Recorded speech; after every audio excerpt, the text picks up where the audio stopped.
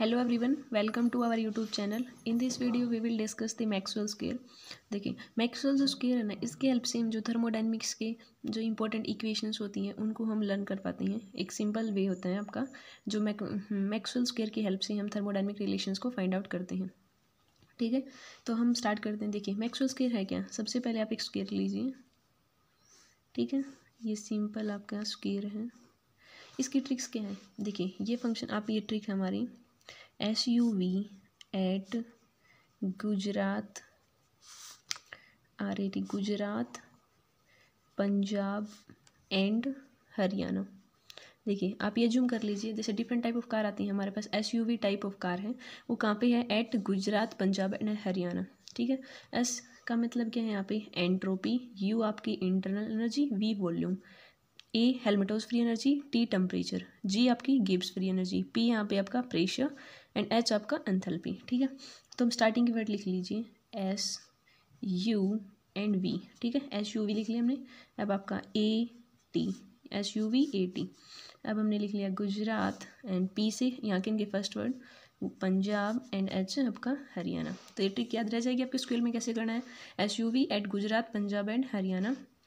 S U V at Gujarat, Punjab Haryana, ठीक है? And ये आपके एरोज होती हैं। ये आपका एरो यहाँ से यहाँ ये आपका एरो है, ठीक है? ये साइड जिस साइड ये एरो आ रहा है, वहाँ पे साइन नेगेटिव होगा, यहाँ पे पॉजिटिव अब देखिए हम स्केल कैसे निकालेंगे हम इसके से।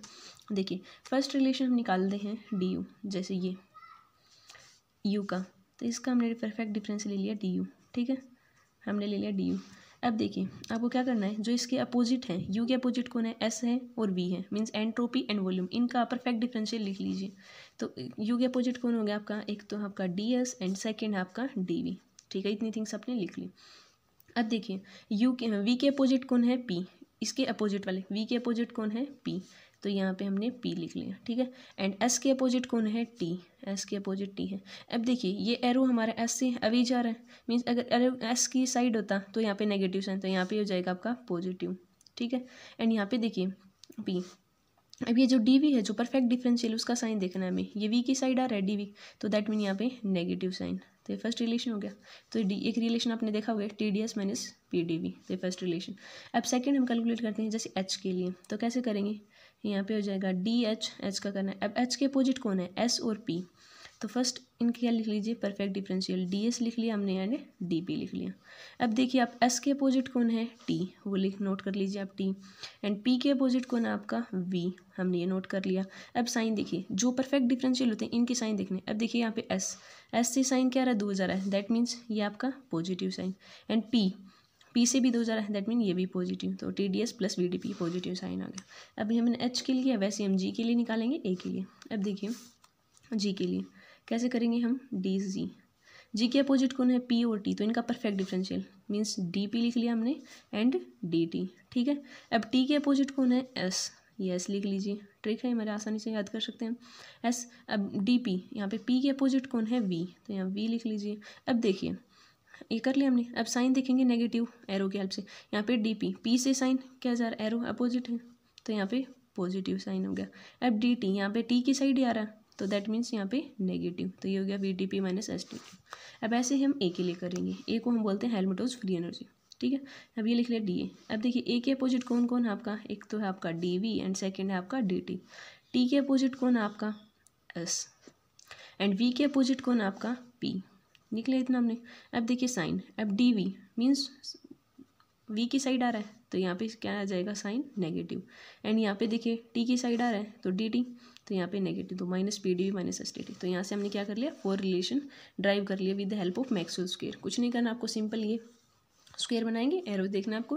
देखिए, जो भी परफेक्ट निकालना हो, जैसे आपको यू लिए निकालने के अपोजिट वाले डिफरेंशियल लिख लीजिए एंड फिर इनके अपोजिट देखिए, जैसे एस के अपोजिट देख लिया टी है पी के वी के एंड फिर एरोज की हेल्प से हम साइन डिस्कस कर दें। ये आपके फोर रिलेशन हमने डिस्कस कर लिए। अब देखिए नेक्स्ट फोर हम कैसे कर सकते हैं? नेक्स्ट देखिए। अब फिर से आप बना लीजिए हमारा, जैसे स्क्वेयर याद रह जाएगा आपको बार बार करेंगे तो एस अभी वी वाला, बीच वाला नहीं दो। देखो एस वी टी पी बीच वाला नहीं लेना एक मिनट के लिए आपको, ठीक है? एंड ये आपका एरोज थी, ठीक है? अब देखिए, हमें डिफरेंशियल निकालना है। कौन से रिलेशन निकालेंगे हम? देखिए एस का एक बार तो हमें करना है आपको। एस से पी के बीच में जाना है आपको। एक बार वी से टी के बीच में। एंड देन दोबारा लेंगे हम एस से वी के बीच में। एंड पी से टी के बीच में। अब देखिए कैसे। एस का पी के रिस्पेक्ट में। एट कॉन्स्टेंट एस के अपोजिट कौन है? टेम्परेचर देखिए curl S by curl P S का पी के और अपोजिट कौन है? टेम्परेचर तो ये हो जाएगा कांस्टेंट टेम्परेचर इक्वल टू अब करेंगे हम वी का टी एक बार एस के पी के बीच में किया हम।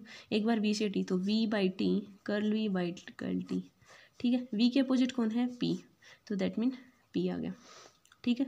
एंड वी से वी की साइड आ रहा था दैट मीन यहाँ पे नेगेटिव साइन एक रिलेशन हमारा हो गया ये। एंड अब सेकंड देखिए। एक बार हमने एस के पी किया वी के टी किया।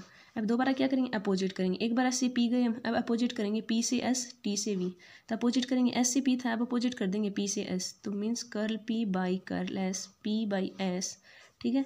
एंड यहाँ पे हो जाएगा पी बाई एस पी के अपोजिट कौन है यहाँ पे? कॉन्स्टेंट वॉल्यूम इक्वल टू अब टी से वी तो that means curl T by curl V ठीक है? एंड टी के अपोजिट कौन है आपका? एंट्रोपी मीन्स एंट्रोपी यहाँ पे कॉन्स्टेंट ये साइन आगे टू डिस्कस कर लिया हमने. अब हमें कैसे करना है? एस से वी जाना है एंड पी से टी जाना है. ठीक है? तो कैसे करेंगे? एस बाई एस से वी जाएँगे तो curl S by curl V ठीक है? एस से वी के एस के अपोजिट कौन है? टी तो ये टी कर लीजिए, ठीक है? अब पी से टी जाएँगे हम तो means curl P by curl T and P के अपोजिट कौन है? वॉल्यूम ठीक है? इतना कर लिया हमने। अब नेक्स्ट रिलेशन को कौन सा करना हमें? अब हमें अपोजिट जाना है, जैसे वी से एस जाना है, वो अपोजिट कर देंगे टी से पी जैसे यहाँ पे क्या था ना एस से पी था, उसका अपोजिट कर दिया हमने पी से एस वी से टी था तो टी बाई वी तो वैसे ही इसमें curl S by curl V अब नेक्स्ट कैसे कर देंगे हम? कर्ल वी अपोजिट कर देंगे इसको। Curl V by curl S and V के अपोजिट कौन है? प्रेशो एंड नेक्स्ट क्या हो जाएगा आपका? टी से P curl D by curl P curl T by curl P at constant entropy ठीक है? तो चार रिलेशन हमने ये डिस्कस कर लिए। ये थर्मोडाइनमिक आपको डायरेक्ट याद नहीं होते, लेकिन मैक्सवेल स्क्वायर की हेल्प से हम इजीली कैलकुलेट कर सकते हैं। जैसे फोर रिलेशन ही हो गए फोर तो हमने एट रिलेशन कैलकुलेट कर लिए विद द हेल्प ऑफ़ अब देखिए नेक्स्ट नेक्स्ट कैसे है? जैसे ये हैं। अभी इस रिलेशन से हम नेक्स्ट और निकालते हैं। जैसे यू का, अब के हमें तीनों में करना है, जैसे कर्ल यू बाई करलेस कैसे? Curl U by curl S at constant क्या लेना आपका? थर्ड वाली जो टर्म बच गई वी तो curl U by curl S constant volume equal to अब इसमें करेंगे एच का, किसके रिस्पेक्ट में? एस के एट कॉन्स्टेंट पी तो यहाँ पे हो जाएगा H by S and constant यहाँ पे प्रेशर हो जाएगा। ठीक है? इतना कर लिया हमने।